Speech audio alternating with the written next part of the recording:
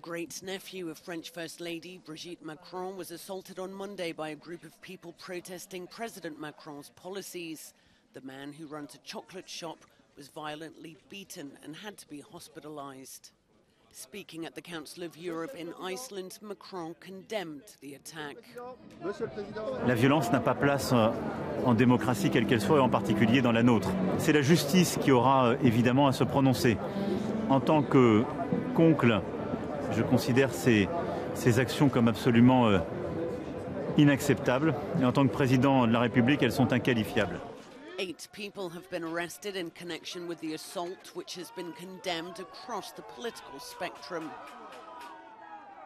France has seen some of the worst social unrest in years in recent months following the approval of President Macron's controversial pension reform plan.